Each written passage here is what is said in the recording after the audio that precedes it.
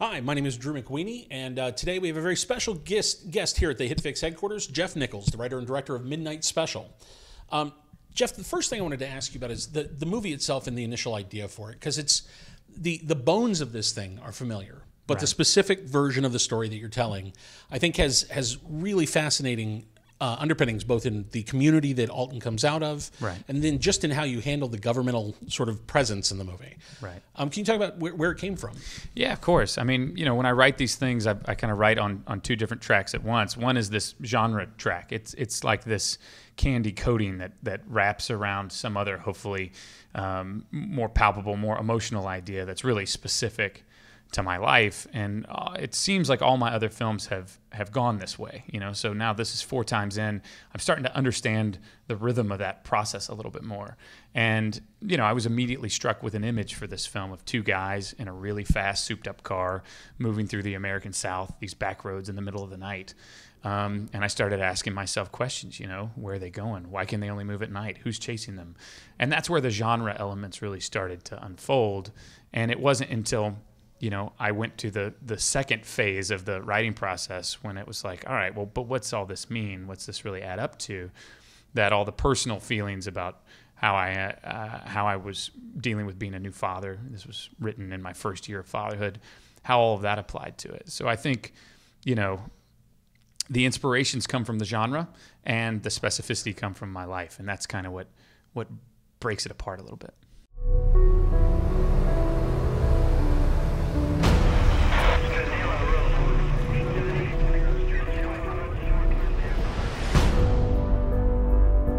What do you know about Alton Meyer? I wouldn't know where to start. He would have fits. Things would break. It was like a feeling. Kind of feeling. We need to know where he is. You'll have no clue what you're dealing with, do you?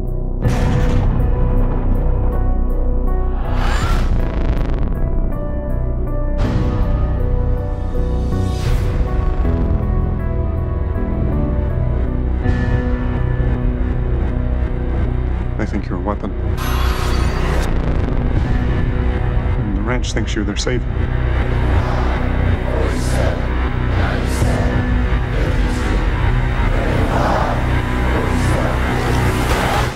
One of the things that's most striking so far about your filmography is your relationship with Michael Shannon. And I, I love him as a lead. I love how uh, wide a range of things he's gotten to play recently. It feels like people are uh, into it and letting him do crazier things. And Sure. Not just, I think, the box he was in for a little while in Hollywood. Right. Um, for you, writing now, do you picture Michael? Is Michael part of that process for you? Do you because that relationship is so interesting? Yeah, and he has been since my first film. You know, I wrote Shotgun Stories specifically for him. I wrote Take Shelter actually wasn't written specifically for him, but it wasn't a far leap, you know, to get there, uh, having worked with him in Shotgun Stories. Mud, you know, I wrote for Matthew McConaughey. So I do this where I, I write these things for people. And Midnight Special was specifically crafted, you know, for Mike. I think. I think part of it is obviously because of his stature and his look and everything else. Everybody wants him to be a bad guy, but when you are confronted with an actor that's just that good, um, he's not that easily relegated to that to that niche, you know. And I think maybe a lesser actor um, would be quite content just going to work, playing the baddie, and that that's it. But he's so smart and I, and he's so talented. I think it's kind of inevitable that he will, you know, um, um, lash out from from those initial ideas.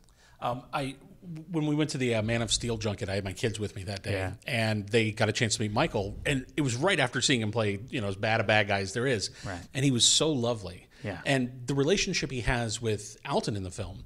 Um, I always feel like when you're making a movie where there's this kind of central relationship between a, an adult and a child, that actor, the adult actor, is almost your co-director in terms of handling that kid to some degree. Oh, for sure. Um, can you talk about their relationship and sort of uh, how you help them uh, yeah, foster that? I didn't help too much. You know, Mike Mike is a very pragmatic guy, but luckily so is Jaeden, the the boy who plays Alton. Um, he's he's very mature for his age, and and you know they didn't.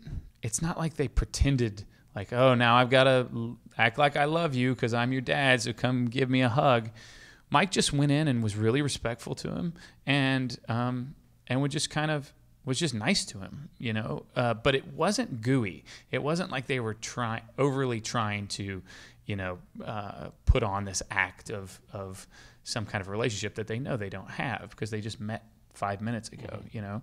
And and that's just Mike's personality, but fortunately, it suited Jaeden, you know, so that by there was a point in the process where I think they really did respect each other. Like they really were leaning on each other to get through some of these emotional scenes. Like it's like they, they needed each other uh, in terms of, of partners in a scene. And at that point, since Mike hadn't spoken down to him, hadn't, you know, patted him on the head and said, you cute kid, uh, when we came to those kind of rubber meets the road emotional scenes, I think there was a lot of respect, mutual respect between the two of them. And, and that's a lot on Mike and it's a lot on Jaeden. Um, a lot of times, the easy choice in a movie like this is to make the government um, just a bad guy, or to, to create a, a sort of sense that it's just malicious. Sure. And I really like the direction you took Adam Driver's character. I have a friend who is an astrophysicist, Oh. and if you mention ET to him, he gets he he will sputter indignantly about how it's a horror film about the poor guy with the keys who just wanted to study this alien Yes. that would help us unlock immortality, and this Right. kid ruined it all. Right. And I, I like that your film has a very different approach to what Adam Driver's after and sort of how he goes about it. Well, you know, two things. Um, one, just to talk about the government as a sub character or a subplot in my movie, like that was the thing most easily open to cliche. You know, I, I don't know anything about the NSA, not really. Who does? Uh, you know, I don't know much about the inner workings of, of uh, secret government organizations. So I just tried to look at it kind of like the DMV. You know, um, it's just this giant bureaucratic process that no one character is going to get a full point of view on you know? So it it somehow made uh, that character more relatable just in terms of he's not in the control room with all the generals saying and now we're going to send the drone and now we're going to do this all that stuff you see the effects of all those decisions but you don't really know where they're happening when they're happening or who is making those decisions. And that seemed appropriate. Government seems like a very big entity to me. It doesn't seem like a centralized thing. Um, oddly enough i wrote this before the snowden you know kind of um, stuff broke and and i think i was actually shocked at how how much they did have kind of centralized and put together. But I still stand by that kind of thinking of how the, the federal government operates.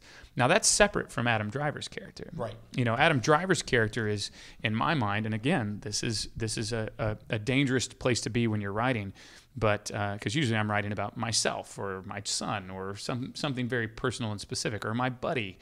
But in this, I wanted to take Richard Dreyfuss's character from Jaws and Truffaut's character from Close Encounters of the Third Kind, put them together, and make and make a government scientist. Um, it just felt like a cool thing to have in this movie. Now that could have been terrible, you know, and maybe some people think it is. But when you add Adam Driver to that mix, you add such a thoughtful actor. He's going to come in and he's not thinking of it as this amalgam. Uh, he's thinking of it as a person. And he uh, starts immediately asking questions about, like, why do you have me, you know, with this tape recorder that's completely superfluous, you know, when they have recorders behind me going straight into computers? And why am I always using legal pads? Like, there's, there's a reason for this, Jeff. And I was like, well, you know, I think he's this analog guy who is in a digital world, but that's how his brain works. You know, his brain fires at a pretty rapid level. And this starts to build character. And what it really starts to build is a worldview. It starts to build this idea that he has probably the best mind in the room, right? But he's smart enough to know his limitations of his own mind. Mm-hmm. And that maybe the math, his math, isn't complete enough to give him all the answers. And there might be a bigger math equation. There might be a bigger variable out there that um, that he can't quite comprehend, but he wants to. And that's that's a worldview, and that's a cool. I think that's a cool idea. Well, I, the the look of this film is another major part of what I reacted to, and it's it's so beautiful. It's the the way you've captured sort of those those country roads and the side roads, and and what it looks like when you're trying to stay off of highways and freeways and major thoroughfares. There's a, a whole part of America that's going away as we Right. get more and more reliant on you know certain kinds of transport. So I love that this movie captures that, and it does it in this really. It reminds me absolutely of sort of early Spielberg or Sugarland of Carpenter's Express. Starman. Um, and, and there's something great about shooting it for real. Well, yeah, and, and that's kind of been a, a hallmark of, of my approach from the beginning, which is well, let's go to these places and, and let's let's shoot these things. It lined up very well with the story. These guys that are trying to be off the grid, you know. But the American South is a it's an interesting place. It's it's quickly becoming homogenized, you know. Um, but something interesting happened in the American South when when I was growing up in the 80s and 90s. So all these small towns in Arkansas where I grew up used to be quite vibrant, you know, because you would need all of these people to farm all of this this land. So that's why every little town had a drugstore, every little town had a furniture store. It was a real local economy. Well, then agriculture became mechanized and farming took 3 people, not a 1000. And so you have these amazing back roads and these amazing this infrastructure that is uh, it's just gone it's forgotten. You know, they tend the main roads, but there are all these other places, and I just thought, um, what a great place to be leapfrogging all through night. You know, uh, through the American South. Um, it's a it's a it's a beautiful part of of our country, I guess.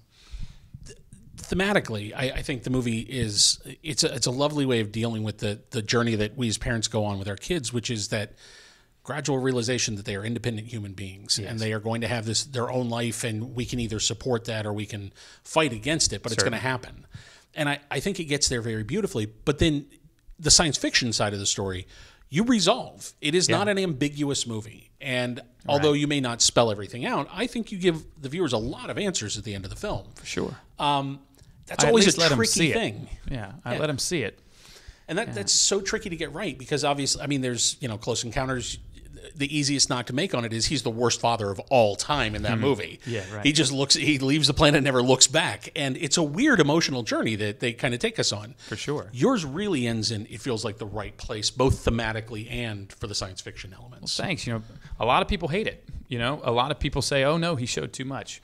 Uh, there's a whole other swath of people that say, "Oh, I, that doesn't make enough sense. I, I don't know what's going on."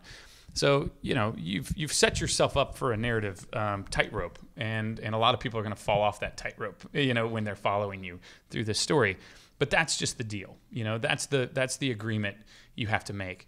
Uh, I I felt like it was really necessary in this film to to have it go someplace. You know now you don't know the point of view of this place that we end up in. Um, and that was really important to me as well because in early test screenings and stuff with the studio, they, everybody wanted to know. Um, but at the same time, I, it just felt like a cop out if you're going to get there, see people's eyes grow and never cut to what they're looking at. Now, no, of course, Spielberg taught us very greatly in Jaws. The barrels are more interesting than the shark. I got it. You know, like I know the lesson. I know the rule. I made a movie that is 80% that. Yeah. But it just felt like a cop out not to try. Now, no, I'm not going to please everybody, um, but I'm willing to accept that because I think there's some bigger ideas there. And also, I don't write these things for that to be the final thought. You know, like I don't really care if you like um, the practicals uh, of, of how I end my movie. What I care about is are you on the same emotional page with these characters? It was the same thing for Take Shelter. It's like if I can somehow bring you to an emotional conclusion and wrap that up and have that feel like a complete thought, then I'm good. Everything else is window dressing. What I like about the way Warner Brothers has handled this film is it's obviously they, they care about the movie and they're being very careful with how they're getting it in front yeah. of people and how they're rolling it out in theaters. Um, there was a moment where you were talking about doing Aquaman as well. Mm. Um, working with a bigger studio is a jump for you just as a filmmaker because it's a different kind of machine that you step into. Right. You seem like you're having a good experience on this. Very. Um, are you interested in doing those those bigger canvas pictures? And if so, how do you find the personal way to work in that space? Well, that's the not a million dollar question. That's the hundred million dollar question. And I think there's an answer to it. I just haven't found it yet. Mm-hmm. Um, you know, I've been just unsuccessful enough uh, in the career trajectory that I've been on that no one's offered me that job that I couldn't walk away from before I was ready for it. And now, for better or worse, um, I kind of know who I am as a filmmaker. You know, uh, I, I I understand my process when it comes to making a film. Now that doesn't mean I'll make a successful film or a good film, but I'll make my film. Right. And so I need to be presented with um, a story that number one I can write, Uh, I think I need to write it because that's how I feel most comfortable behind the camera. When an actor comes up to me and says, "Now, why is my character doing this?" I can tell him exactly because I had a reason for when I put that on the page, and that's a confidence thing that is very hard to step into as a director.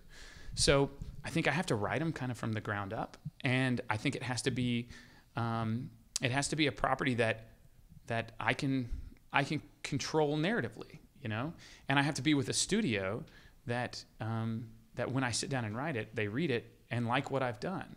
You know, I was really specific with Warner Brothers when I when I came into the front door with this script. I wasn't coming looking for a development job. I didn't want notes.